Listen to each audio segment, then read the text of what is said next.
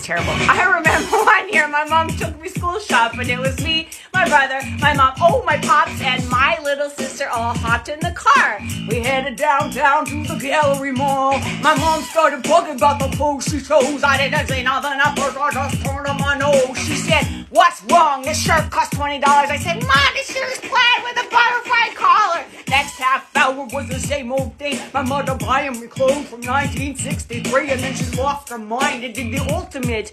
I asked her for Adidas, and she bought me. Wait. Yeezys.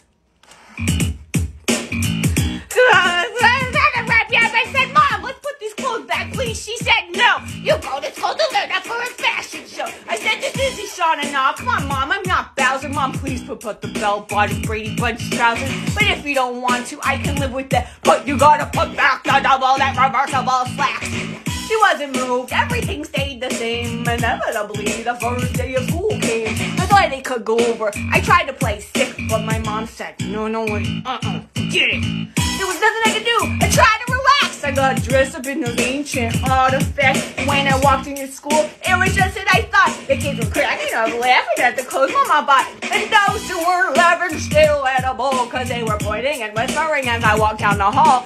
I got home and told my mom how my day went. She said, You're laughing, you don't need them because they're not good friends. Six hours trying to explain to my mom that it's gonna have to go through this about 200 more times. Tell the kids all across the thank you for the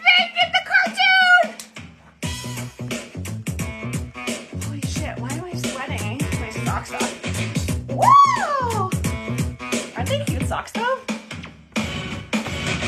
Okay, here's the situation. My parents went away on a week's vacation they left the keys to the brand new Porsche. Would they mind? Hmm, well, of course not. I'll just take it for a little spin and maybe show it off to a couple of friends.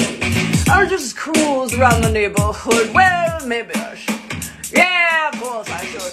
Pay attention, here's the thick of the plot. I pull up to the corner at the end of my block, and that's when I saw this beautiful girly girl walking. I picked up my car phone to put the trick like I was talking. You should have seen this girl's bodily dimensions. I honk my horn just to get her attention. She said, Was that for me? I said, Yeah. She said, Why? I said, Come on and take a ride with a hell of a guy. She said, How do I know you're not sick?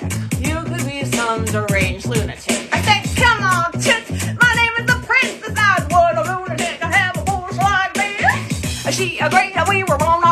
Way. She was looking very good, and so as I must say, word. We hit McDonald's, pulled into the drive. We ordered two Big Macs and two large fries, and then she kicked her shoes off onto the floor and said, Drive fast, speed turns me on. She put her hand on my knee. I put my foot on the gas. We almost got whiplash. It took off so fast. The sunroof was open. The music was high, and this girl's hand was slowly moving up my thigh. She had opened up three buttons on her shirt so far.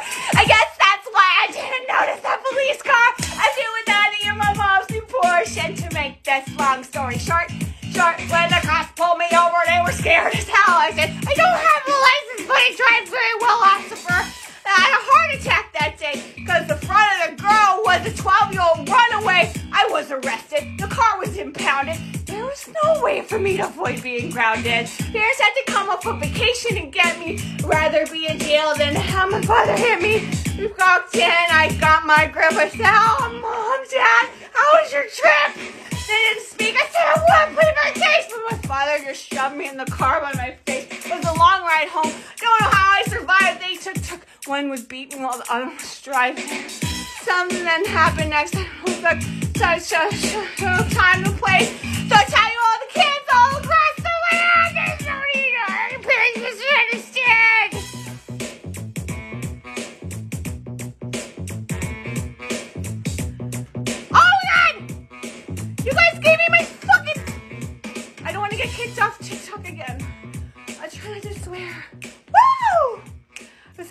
accident.